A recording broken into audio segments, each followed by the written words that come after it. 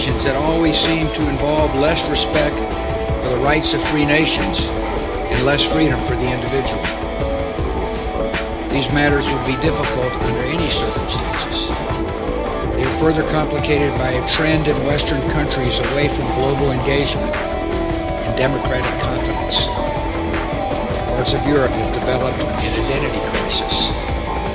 We have seen insolvency, economic stagnation, youth unemployment, anger about immigration, resurgent ethno-nationalism, and deep questions about the meaning and durability of the European Union.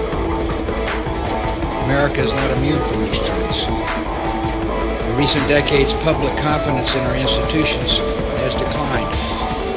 Our governing class has often been paralyzed. The American dream of upward mobility seems out of reach for some who feel left behind in a changing economy.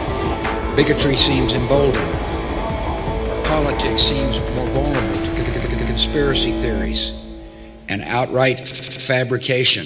You both were members of Skull and Bones, a secret society at Yale. What does that tell us? Uh, not much because it's a secret. Is there a secret handshake? Is there a secret code? I wish there were something secret I could manifest. 322, secret number? Uh, there are all kinds of secrets. Now, as you may know, my running mate, Tim, is Catholic and went to Jesuit schools. And one of the things he and I have talked about is this idea from the Jesuits of the Magis the more, the better. Hello, and welcome everybody to another reading Code Word Barbelon with Jörg Listman of Belgium and myself, Brett Norman, in the United States. And we're gathered here on Skype. Today is Sunday, May 13, 2018. And we are on page 438. And the chapter is called Sacred Symbols and Sac- uh, Secret Rites. Excuse me. Hello, Jörg. Hello, Brett. Uh, glad to hear from you again this evening on my time and uh, about uh, just past lunchtime at your place. Yeah, yeah, yeah. Thanks. Yep. The second attempt today to start reading chapter 44 Mm-hmm. in the book uh, Code Word Barbelon. Mhm. Um, because we already came together this afternoon, but after reading a few sentences, I was taken away by the spirit into the wilderness, well, yes. Uh, and the video started out to make uh, interesting comments and an interesting session that you can watch uh, in the link that probably Brett will provide you with. In yeah, we're going to put that one up right away, I think, here. Uh, So yeah, yeah, you wouldn't mind you can- reading this paragraph again. We'll just No, right no, in. no, of course, not, of course not. Start from I the just, top. Yeah. I just mean, I just mean because I'm mentioning this here right now. I mean, whoever knows when this video Right. is published? Oh, that new yeah, one that we good did this question. afternoon. God, 70 to make. pub- Yeah. yeah, and that's the problem. We have about 60 or 65 episodes um, between uh, the one that we are reading here right now to upload before Yeah, this comes. right. So, it Um, might take like- a while. yeah, my point is just because we're talking about this, just put the link in there, then people can see what else we did today. Right. that they have an right. idea, you know. But uh, yeah, of course, I'm going to start this right now. It's a shame that Michael is not there to join us, but maybe he will come in later. We'll see. He had some. Yeah, we can always add him in if he comes up. So We can always add him in when uh, when he comes on. Yeah, that's no problem. And um, I will, in the meantime, start reading Sacred Symbols and Secret Rites again, which starts with a quote that is right out of the King James Bible. Because this afternoon I read it from the King James because I was a little bit insecure. Because last time that P.D. Stuart uh, mentioned something of the Bible reading, he used the Amplified Bible, and I don't use anything else but the King James. But we checked, and uh, this quote that comes from Second Kings chapter 10 verses 26 through 28 is uh, from the King James. It is also complete, right? There's nothing uh, yeah. missing. word You for word, that? it was spot on as far as I was paying attention. Okay, yeah, I didn't compare it. I, I I just read the King James. I didn't have a look at this quote anymore. But Yeah, I Anyway, was I was read from- proofreading it while you read it this morning, or Okay, your right. afternoon actually. So yeah, worked out good. So, from Second Kings chapter 10, verses 26 through 28, we read, And they brought forth the images out of the house of Baal, and burned them. And they break down the image of Baal, and break down the house of Baal, and made it a draught house unto this day. Thus Jehu destroyed Baal out of Israel. Unquote. On March 8, 2007, the Religion News Service revealed that the Catholic Church in America reported its largest growth. The Roman Catholic Church grew to 69.1 million members in 2005, making it the fastest growing church in the country, followed closely by the Assemblies of God and the Mormons. According to the 2007 Yearbook of American and Canadian Churches produced by the National Council of Churches. This ends this little quote. The report went on to say, surprisingly, that the three mainline Protestant denominations, which are the Methodists, the Lutherans, and the Presbyterians, all, quote, reported membership declines in 2005, unquote. This is from Kevin Eckstrom, RNS, on the 8th of March 2007 in Washington, D.C. Catholicism, we can to come to the conclusion, is on the increase. Now, I will not waste another minute of commenting on what I just read because we did a whole hour video on that earlier today. Yeah, that's right. and therefore, and therefore, Brett will put the description, uh, uh, the, the the link to that video in the description box of this one, and then you can listen to that one Yep. hour and make up your own mind and The see title how will right be- or wrong we were. right. The the title will be The Falling Away, the Great Apostasy of This World. Look it up. Oh yeah, that's a good idea. Okay. Yep. Yep. So- Jörg, you so gave it that title when when we were talking at the end of the conversation. and I, don't wrote it know. down. I okay, this is the title. I don't. I don't give any titles. That's just the Holy Spirit speaking. Yeah, that's right. That's right. We Some- don't really. Sometimes, Yeah. sometimes I just can't stop him. He just babbles on.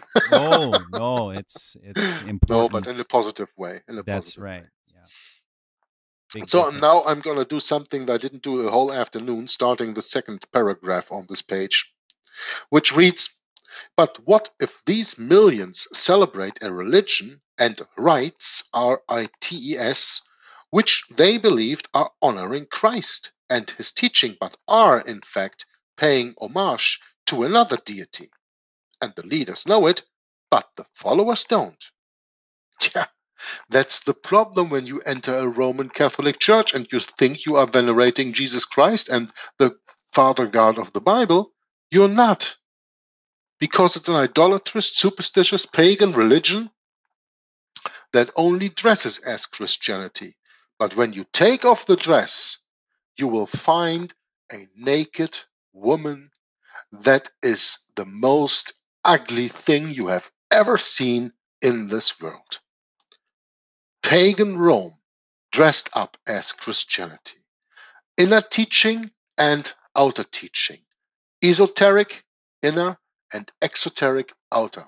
Everybody who goes to a Roman Catholic church of the normal lay people, let me assure you, they think they are doing God service going into that church, but they are actually helping and manifesting in the spirit of Antichrist. What if the profession, the author continues, of religion is merely a cloak to conceal a gross evil?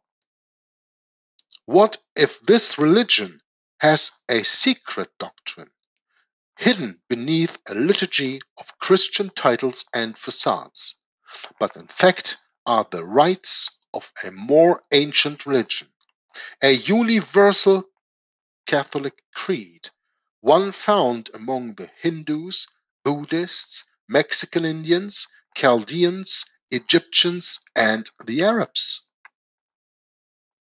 There's a footnote here. I- Yeah, I, I, I didn't even read this, and my comment, I think, was spot on, right? right. Yep. Okay, something interesting in that footnote, Brett. Well, it says you will recall that earlier we read from Helena P. Blavatsky, who said in her secret doctrine that the secret was the worship of Parashiva. Yeah, we read that. That's right. Mhm. Okay, in 1975, the author continues. And sorry, in 1795. right. Good catch, little Jörg. difference. Good catch. little nice. 1795. Yeah, that's a huge difference. uh, about 200 years, yeah. 220, 100, yeah. 184 or something like that. Or something, whatever.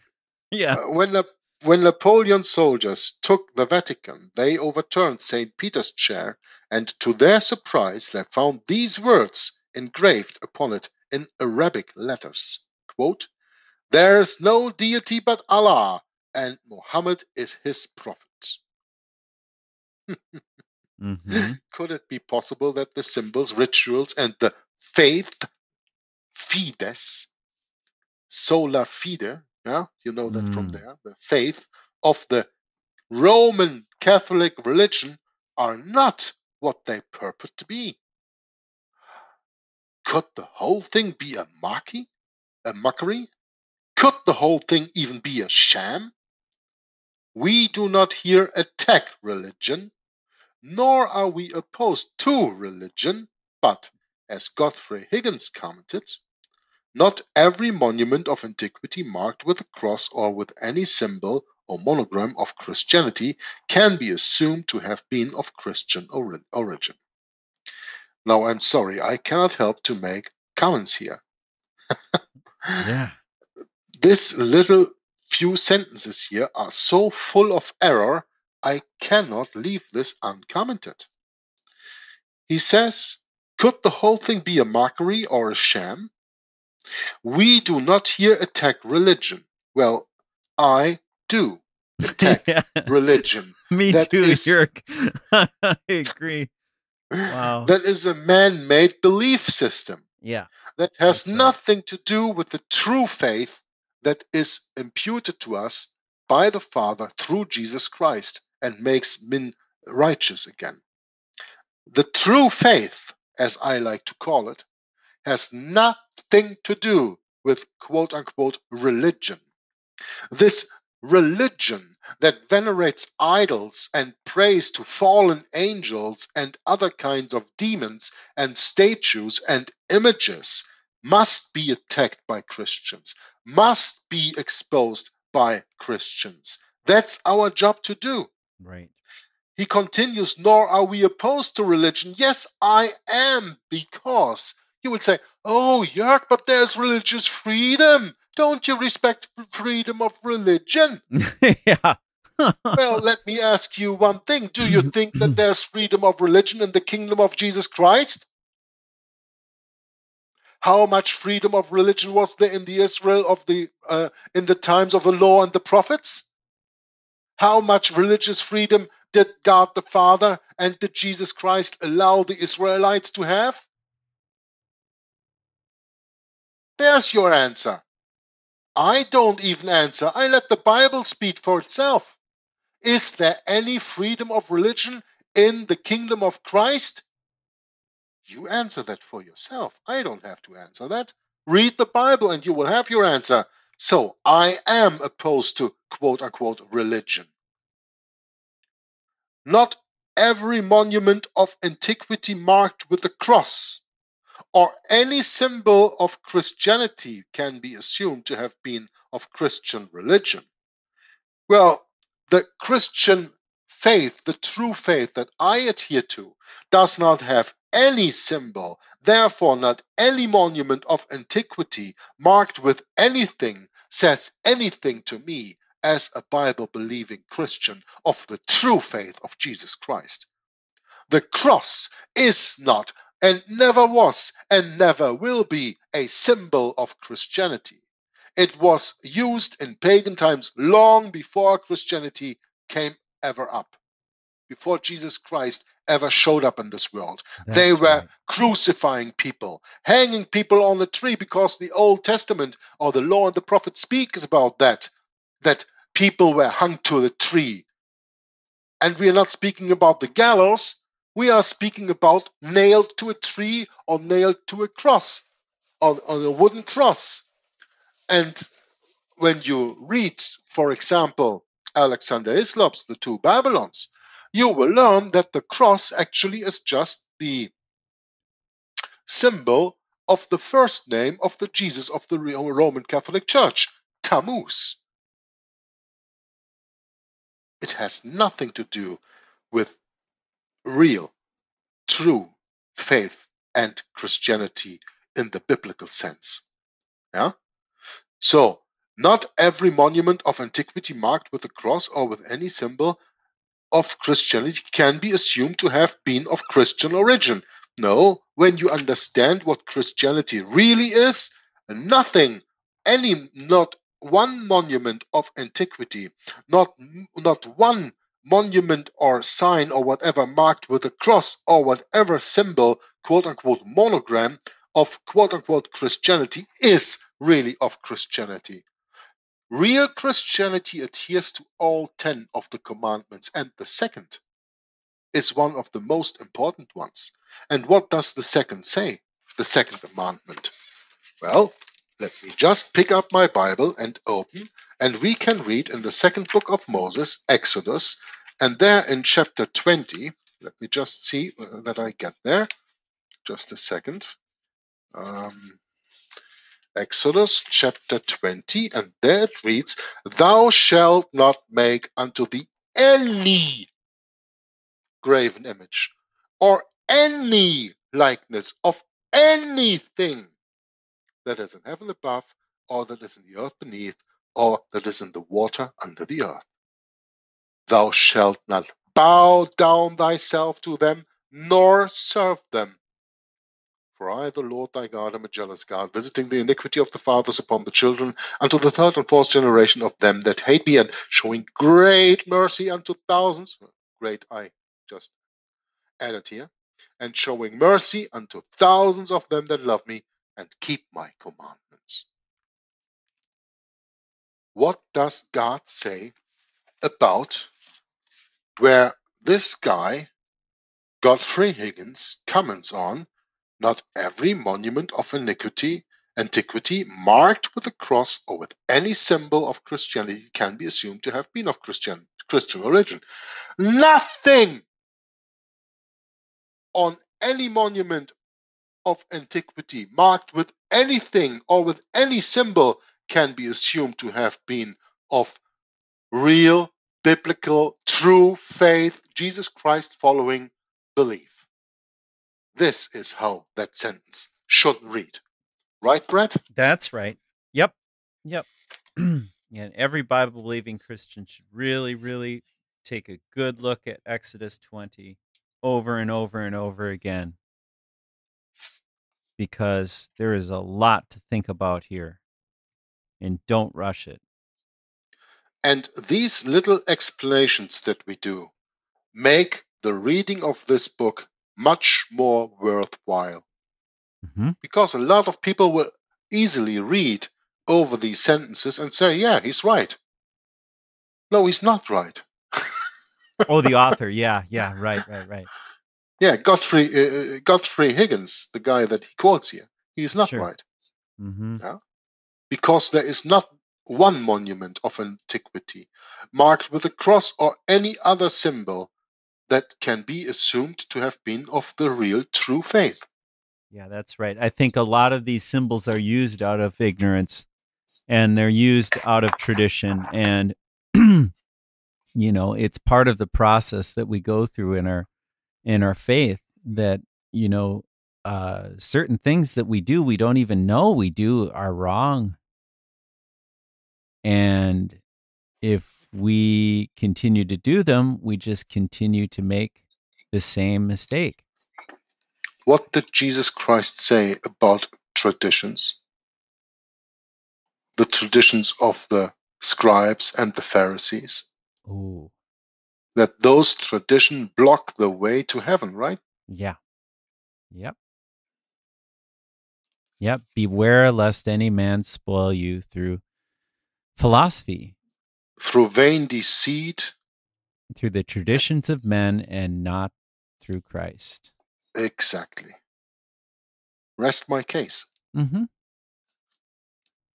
Like all secret societies, the author continues, the Catholic Church too has an inner and outer doctrine.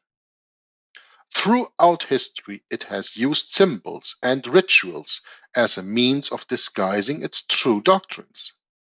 Speaking of the secret inner doctrine of the early founders of the Roman Catholic Church, Albert write, Albert Pike writes, quote, the mysteries were open to the fideles, meaning the initiated. Uh, fideles comes from fide, faith, so means the faithful. And no spectators were allowed at the communion. Tertullian, a founding father of Catholicism, Thank you, Albert Pike, for being correctly and not calling Tertullian a father of the church, but a founding father of Catholicism. That is correct. I applaud Pike for this. Says in his apology, none are admitted to the religious mysteries without an oath of secrecy. We appeal to our Thracian and Eleusinian mysteries Clement, bishop of, Alex, uh, bishop of, Alexandria in Egypt, was born about AD 191, says in his Stromata that he cannot and would not explain the mysteries because he should thereby, according to the old proverb, put a sword into the hands of a child. Unquote. And Cyril, Catholic Bishop of Jerusalem in AD 315 through 386 said, quote, The splendor is for those who are early enlightened. Obscurity and darkness are the portion of the unbelievers and ignorant. Just so the Church discovers its mysteries to those who have advanced beyond the class of catechumens. We employ obscure terms with others catechumenus, which I just read, is an old uh, Latin term, I think, for catechism. Yeah. Mm. That's right. The Catholic Church here admits to using obscure terms to hide their true meaning from the ignorant or catechumens. In other words, there is a secret doctrine. Catechumens would then be the people who use the catechism because they are not allowed to use the Bible, you know? Mm-hmm. The Roman Catholic right. Church forbids the reading and understanding of the Bible, but it promotes the reading of their catechism. The problem is and, is in Luther in the Lutheran faith they have the Lutheran catechism and then that kind of mixes yeah, it up a little bit. Yeah, you know the, the the point is and that is something that I learned in reading that Griesinger book uh, about mm. the history of the Jesuits, uh, he says that the Roman Catholic Catechism was actually just a response to the Lutheran Catechism oh, because because the people found it so easy in the few words that con- that are contained in the Lutheran Catechism yeah. to identify themselves with quote unquote religion. And the Roman Catholic Church wanted to have something even in the same way easy accessible to mm. their religion and right. they just copied the catechism of the of the Lutherans and made it their own. Ah, wow. So the Lutheran catechism is older than the Roman Catholic catechism. Oh, wow. Huh? I did not even know that. That's in the Griesinger book, uh, dude. It's wow. so interesting to read that. That's fantastic. Yeah. Well, a lot of piece, a lot of the pieces to the puzzle to put together here, Jörg. You know. Yeah. Yeah, that's absolutely. why I never advise anyone to rush through their research. Just take it, take it on your own pace, and and um, you know, um, don't get all wired up about it unless the spirit leads you to. I guess that can happen. So, in other words, there is a quote unquote secret doctrine. Oh, that's probably the reason why uh, Helena Petrova Blavatsky wrote a whole book about that, right? Mm-hmm. Chrysostom, bishop of Constantinople in AD 354 through 417, confirms that there is such a secret doctrine. Quote, I wish to speak openly, but I dare not. And I have to stop right here. no, no, no, do you know why? That brings me back to rulers of evil. Really? Yeah.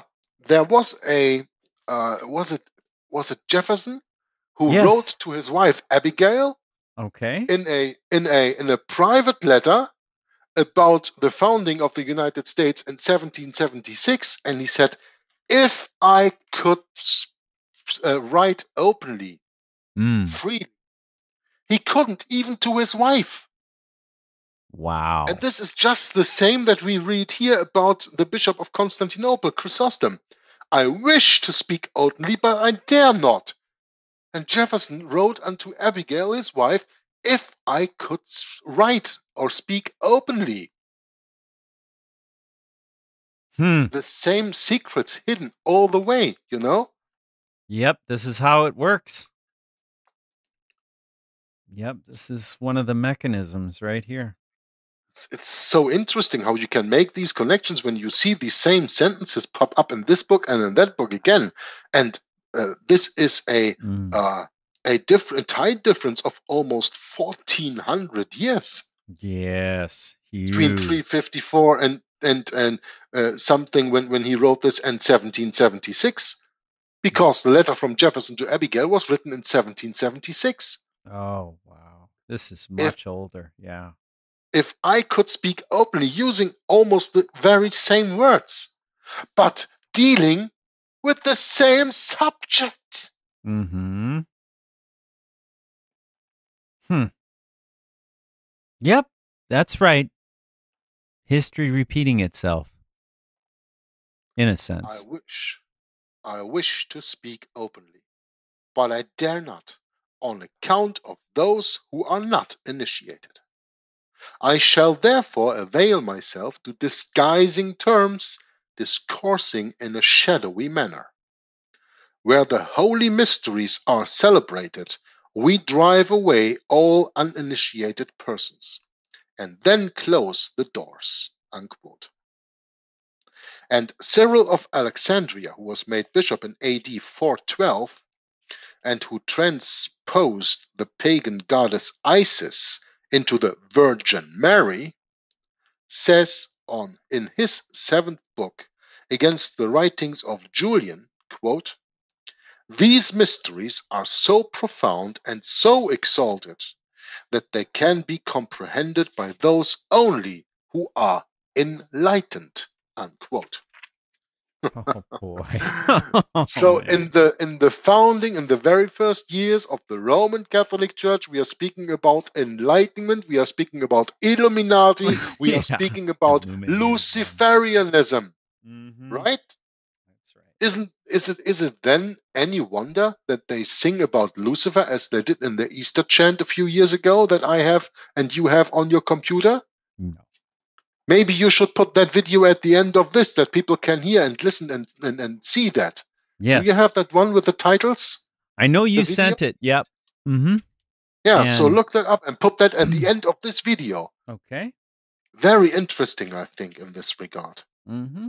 And interesting also, of course, is that Cyril, the bishop uh, of Alexandria, transposed the pagan goddess Isis into the Virgin Mary.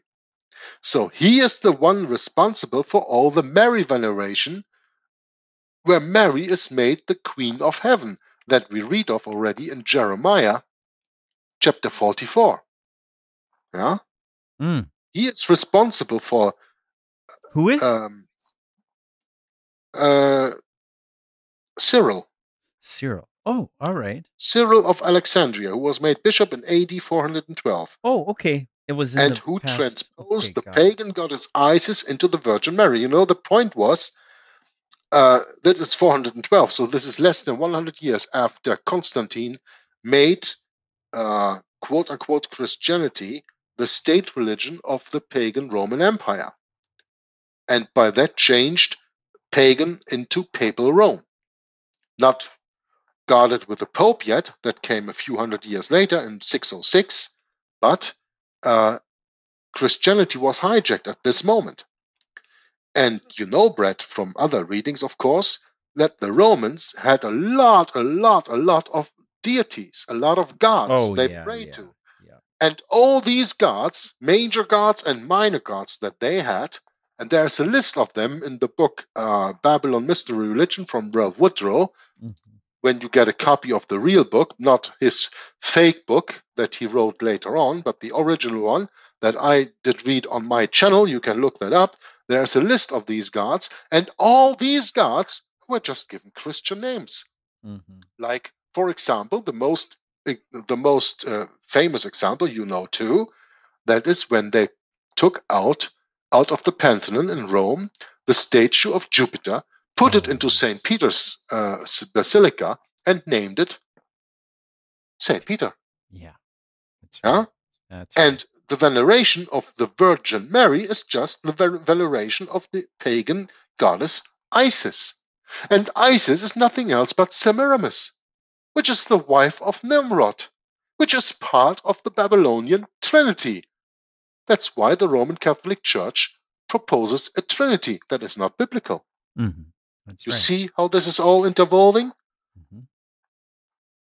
and this he did in 412 so this is um, this is the quote he said but somewhere in that time he venerated isis into the virgin mary by that making it easier for pagans to come to christianity because they could worship the same goddess and just giving it another name Mhm. that's why the people today bow down to Mary because they actually bow down to Semiramis.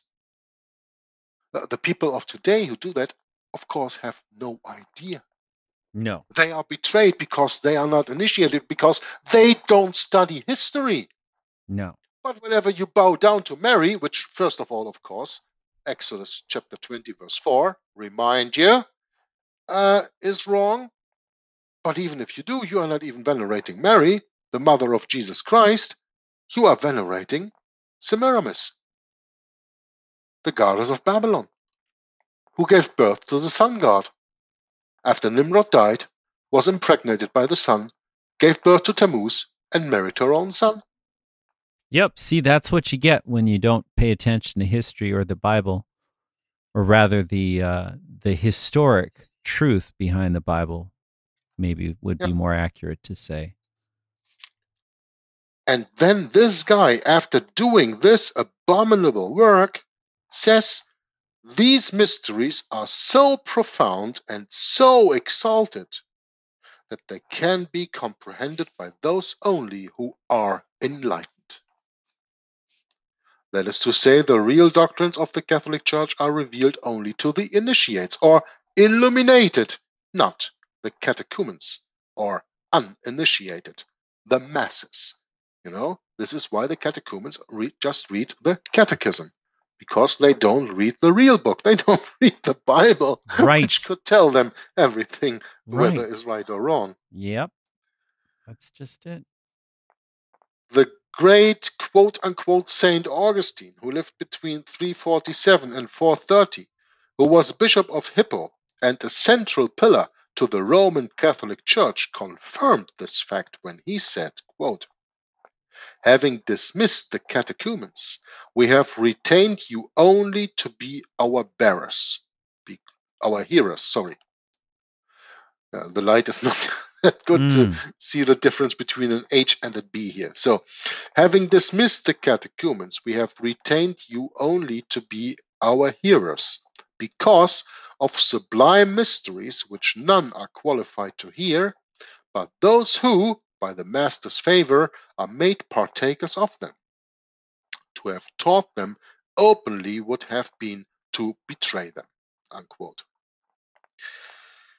So now I'm, I, I, I said a few times already the catechumens are the quote unquote lay people, the uninitiated, the masses who just of the catechism. But I also told you the catechism is something the Roman Catholic Church just invented in the run of the late 16th century uh, to counter the catechism of Martin Luther. So there was no catechism at that time, but the word was still used because these people were not allowed to read any word of the Bible.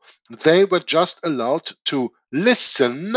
That's why he's speaking about hearing here to listen to the sermons, if you want to call it that way, hmm the priests gave from the pulpits. Yes. They were not to check that to the Bible, to the true word of God, because the Bible was a forbidden book in the Roman Catholic Oh. Church. Because they knew from the beginning that everybody who reads the Bible will understand that the papacy is the Antichrist. And you Comment, have yeah. that, of course. Yeah, please. Uh, when I was growing up in the Lutheran church, you know, I don't ever recall anyone bringing a Bible to the pew and and checking what the pastor said ever. I mean, we had Bibles and we read them, but they were NIV Bibles or they were RSV Bibles or something of the like. And, you know, you could almost choose any Bible you want and bring it and use it. And it, you know, I don't think anyone would have any quarrel with it. And I don't know. It's just so strange when you really think about uh, what's going on with these churches. But uh, anyway, Eric, I mean, it's a confusing mess when you get into uh, what the churches are doing with the Word of God. It's really confusing. Oh yeah, you the more you tell me about that, the more uh, the the more glad that I am that I have never been part of any churches uh, in, in the sure, past. Sure, Yep. Yep. I I know that uh, when I was about the age of oh, what was that? 12, 13 years or something, I had a classmate who uh, went uh, twice a year or so on a retreat with his congregation kind mm-hmm. of a mm-hmm. church. I don't know if they were Seventh day Adventists or just Adventists or Baptists or I don't sure. know. And um, he asked me if I wanted to come along. You know, they were camping, uh, they were doing excursions then with uh, canoes, and I love to, oh, canoe, uh, to kayak. You know, to no kayak, doubt. not not canoes, but to to, to kayak. And yeah. I love to kayak because my father was in a uh, in a uh, in a club in a kayak club in Hamburg in the organization. Oh, you would just love it where I live, Jörg. We have yeah, rivers sure. all over the place up here. It's just fantastic for kayaking up here. Sure, I would absolutely love that. Yeah. So in that time, I, I went with him, and of course, these guys were, yeah, religious. Mm. They they mm-hmm. believed in God. They did morning prayer, they did lunch prayer, they did evening prayer, and then in the evening, when there was a uh, when there was a, a, campfire lit, they sat around it and they sang and they sang song, songs of uh, oh, thanking. God for this and for that. And I, I did all I, I, I did along with them, you know, because mm-hmm. what did I care for the text? I had a good time, you know. Right, that's what matters. Yeah. yeah and yeah no that what matters to me and that time but sure more than more than that I have never been engaged in church, and of course, yeah, I, I went to the uh, the obligated masses and and and lessons uh, to get my quote unquote confirmation when I was 14 years old. Mm-hmm. But I only did that because I wanted to receive the presents from the family when they when we were having the feast. I didn't believe in God really. yeah, and yeah. that's that's all my involvement in the church I have. You know, I, I wasn't even baptized before. So one well, it's day, interesting uh, you I, say that because you know you can go to these churches and and have the same experience. You, you know, you're not forced to believe anything. It's when, just a matter I, of participating. You know, will you when participate? They, when, they, when they gave me the date to to baptize me, because you have to be baptized to get confirmation, of course. Mm-hmm. And my parents didn't baptize me when I was younger because my mother was Protestant. My father didn't believe anything. And um, they said that I should make up my own mind and get baptized when I think I'm ripe for it. Mm-hmm. Right. which is a wonderful thing to do, which is biblically, of course. Yeah. Yeah. Yeah. but I got baptized, of course, for the complete wrong reasons, only because I wanted to get presents for the confirmation. But the point right. is when I got that date, that was on a Saturday.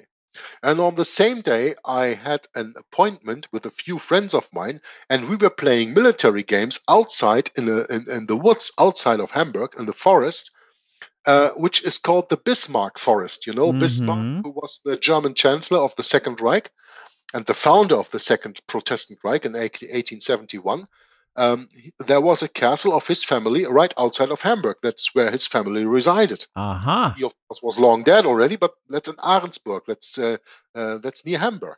Mm-hmm. And we had an appointment there to do our military games, you know, because I was quite a Nazi at that time. Sure. I was so easy influenced by everything. I was everything and nothing, you know. but the funny thing is, I had my I had my baptism before that. So after that, I had to jump into the train and go there because that was on the other side of Hamburg. That was all, all to the east of Hamburg, and I lived in the west. So I had to go for more than an hour by train for that. Ah. So I didn't have time to go to the baptism and then change my clothes. So I went into the church with military boots and my camouflage sure. Sure. shirt and and trousers in there. Yeah. And I got sprinkled some water on my head and I said, Okay, can I go now? And I went out there and that was my baptism. Uh, really, that's Yeah. a true story. wow. That's a true story. How old were you when this happened? Uh, about 14 years old. Oh, wow. Okay. 13 to 14 years. Ah, gotcha. Uh, I was, I was, I, I got confirmation in the year that I got 14, but uh, my birthday is uh, in the midst of June, and I, see. guess that was a little bit earlier than that, so probably 13 on the verge to become 14, or 14 on the verge to become 15. I, I don't remember. Somewhere in there. Yeah, that's fine. Yeah, somewhere in there. I, I don't remember the exact year. No. I wouldn't matter. either. That's a long time ago. That's a long time ago. well, not that long, but long enough. Yeah. Right. Well, almost 40 years now, Brett. Yeah, 30 plus. Yeah. Anyway, let's continue. But I thought that was an interesting story to tell Cool. for once here. Sounds good. Here we are told, the author continues, in plain language, that Roman Catholicism is, at its core, a religion of occult, which is another word for hidden, or secret doctrines. So, using the same word twice, eh? Mhm. occult means hidden. eh? Secret doctrines. Very key word right there, meaning doctrine is of the Bible, but they twist the Bible so bad they keep it a secret because they can't let you know the truth. Yeah, but if you read the no Bible, secret. you can uncode it and figure it out for yourself, right, Jörg? Yes, and you are right when you say the Bible is full of doctrine, but the Bible is less full of secrets. There's not one. no, there's no in the secrets. That's right. Big difference. Yeah. Yeah. So again, here we have an example that the Roman Catholic Church is 180 degrees opposite to what to that what the Bible teaches. yeah, that's it. Yeah. The Bible has an open doctrine, and Roman Catholicism has secret doctrines. There we go. The Sublime Mysteries is a term used to express the custom which prevailed in the earliest ages of the Catholic Church, and to this day, by which the knowledge of the more intimate mysteries of Gnosticism was carefully kept from all but those who were initiated into the occult mysteries of the Gnostic faith. Of the Gnostic faith of the man made faith.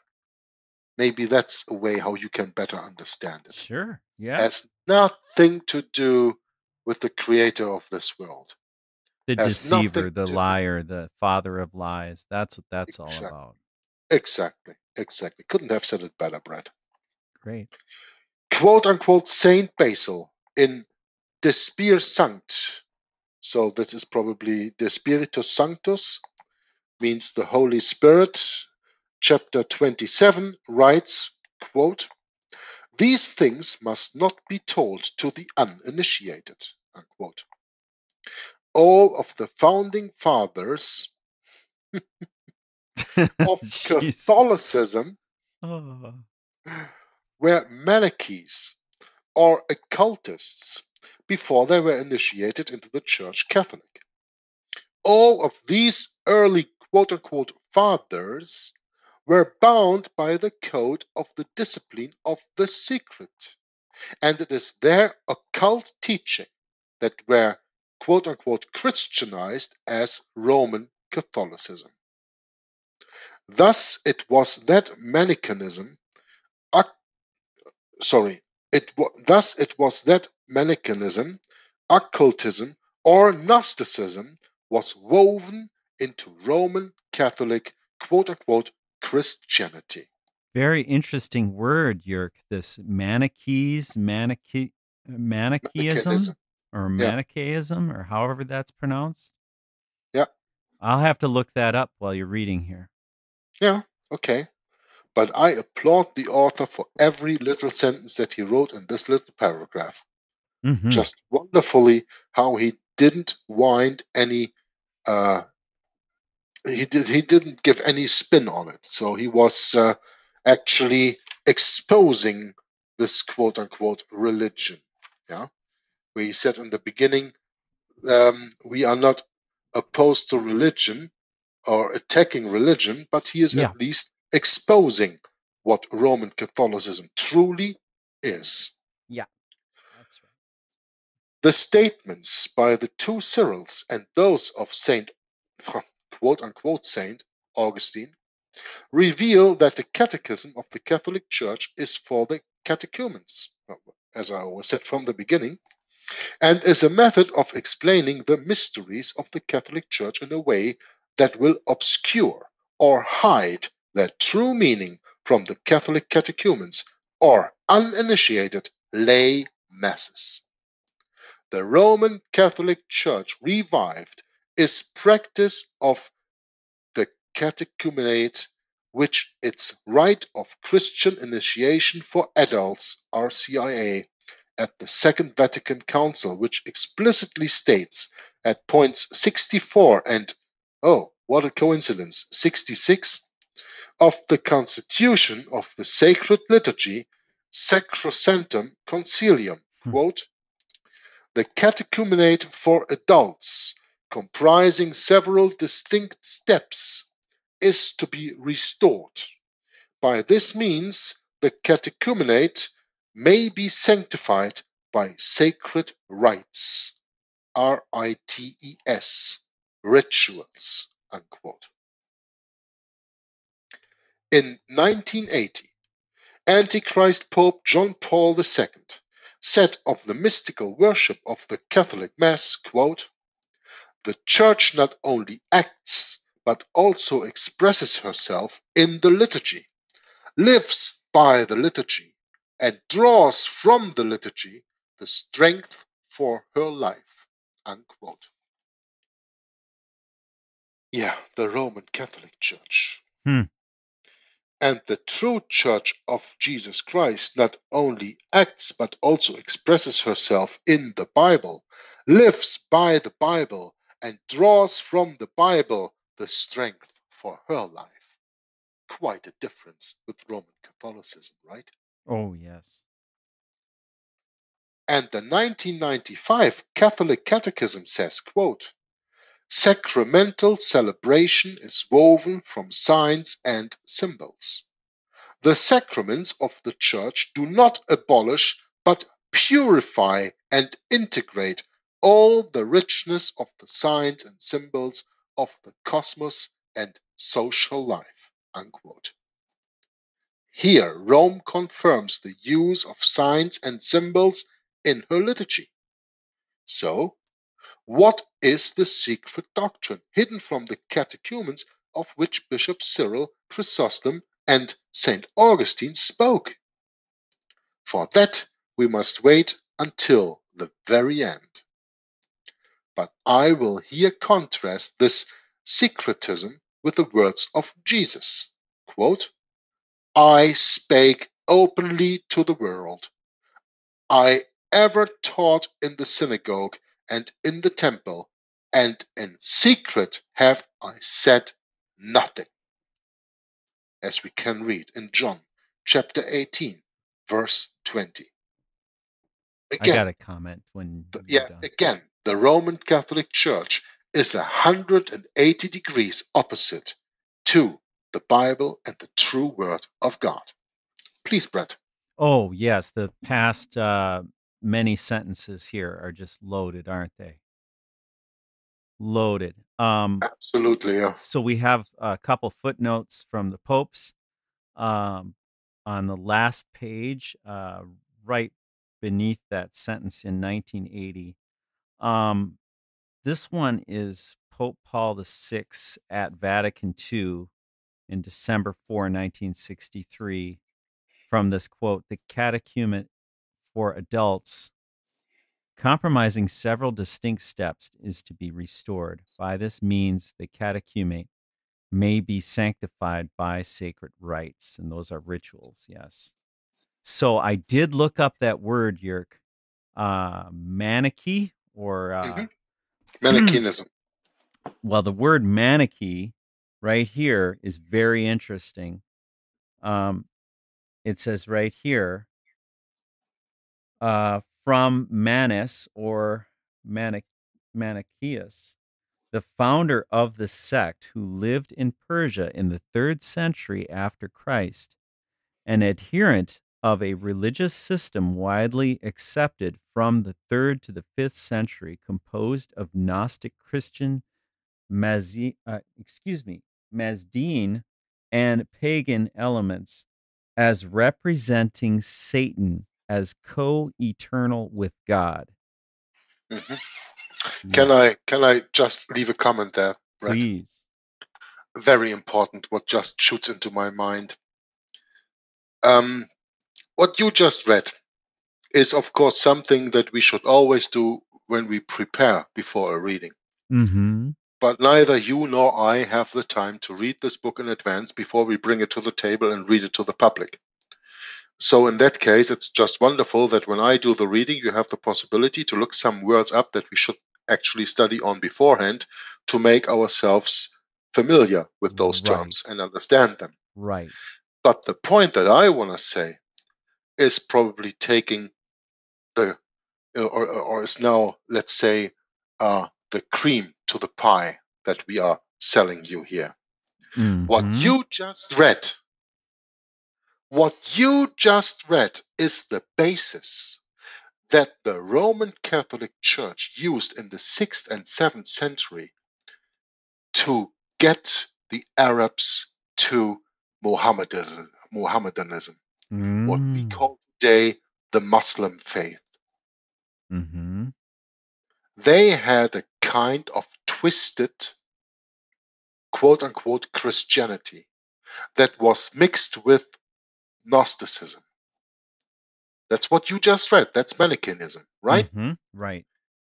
That That's is right. nothing else what the Jews brought out of Babylon when they brought their Talmud out of Babylon with them. That's right. This is for the Arabs. And those betrayed Arabs then have been sold and even other quote unquote Christianity, which is Roman Catholicism for Arabs, Mohammedanism, or the Quran, or Islam is just Roman Catholicism for Arabs. And they had an easy game playing it on those guys who were already betrayed by Manichaeism. Wow. There you got it. Yes. And that to me is an absolute confirmation on everything that Alberto Rivera always stated and said. Mhm. Mhm. Oh, by the When way, you- this is from the 1937 uh, Oxford Universal Dictionary that Mhm. I have. It's a 10 volume set. I'll take a photo of this and put it in the video. Interesting. Yeah. Yeah. Yeah, Yeah, it Just sure wonderful. is. hmm It's great to have this set sitting right here, and I can look up any any word anytime it comes Mm-hmm. to mind. But this just hit me be, because we're dealing with something. I mean, this is some heavy stuff. I mean, we. It's good we're not rushing through this. Actually, I think um, just an idea for the future, Brett. Uh, you and I should take some time and study that Manichaeism a little bit better, sure. and then do a video solely on that subject. And what I just commented here, the relation between Manichaeism and the then later founded faith of Islam, put Mhm. on the Arabs by the Roman Catholic Church. I think that would be a very interesting subject for us to do. Cool. Yeah, that sounds good. There's a lot of different avenues for research on that. And Mhm. uh, yeah, we'll have to look into that. That's a really great idea, actually. So we're going to do that. And that pro- video is probably coming out long before this one. yeah. But no problem.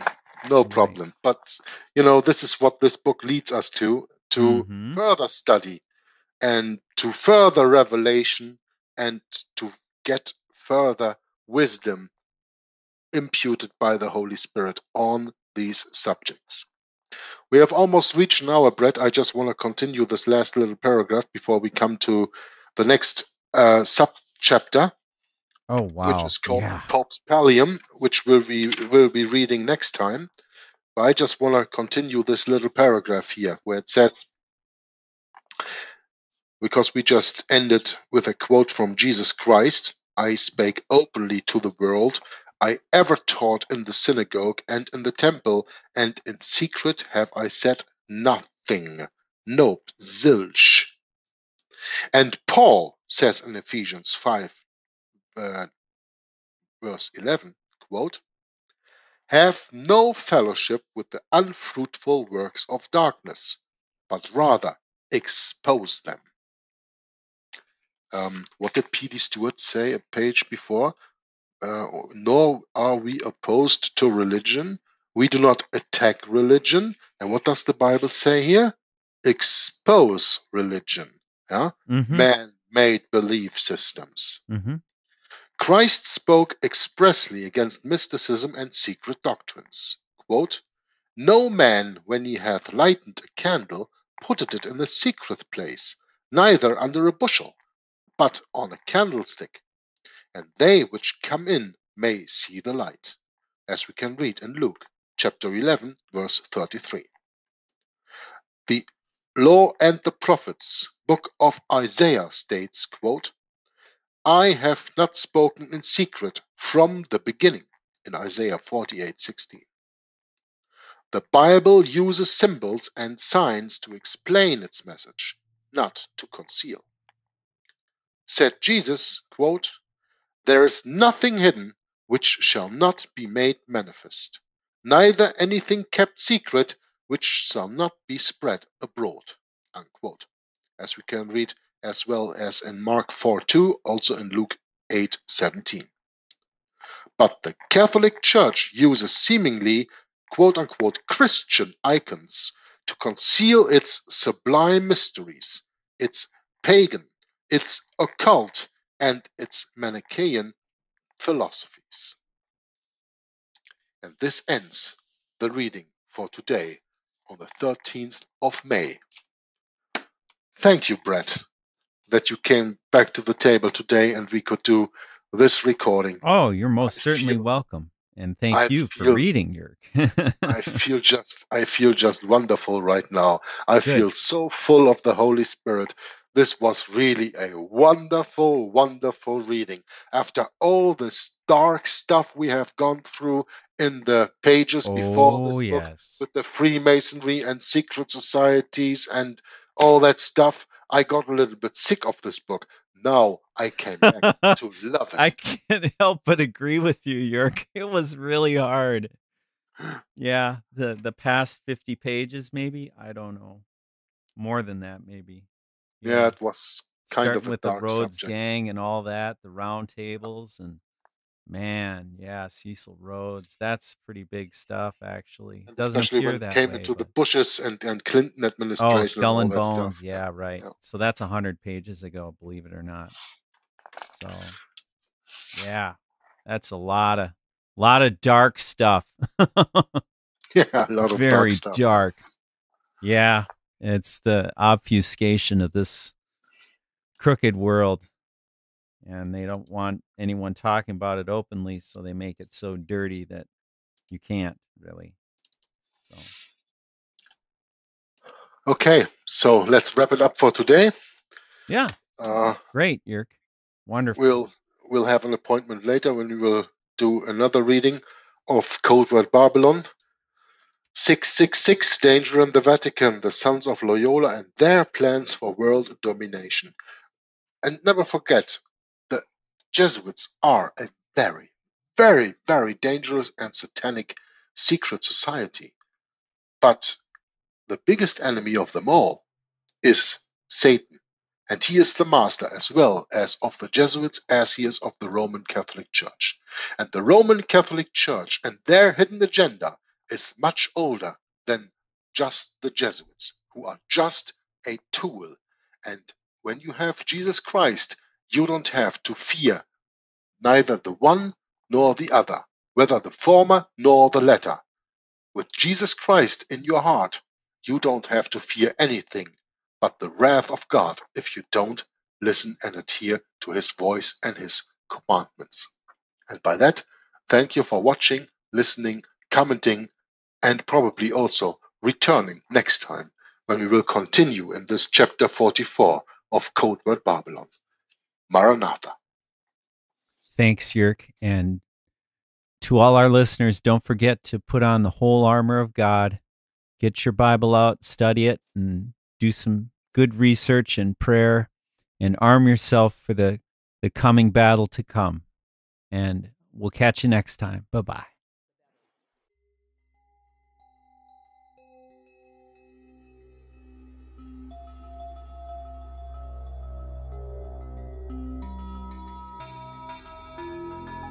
That for the first time in human history, for the first time in all of human history, almost all of mankind is politically awake.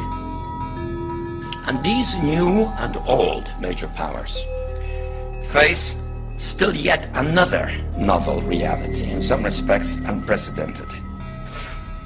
And it is that while the lethality, the lethality of their power is greater than ever, their capacity to impose control over the politically awakened masses of the world is at a historical low.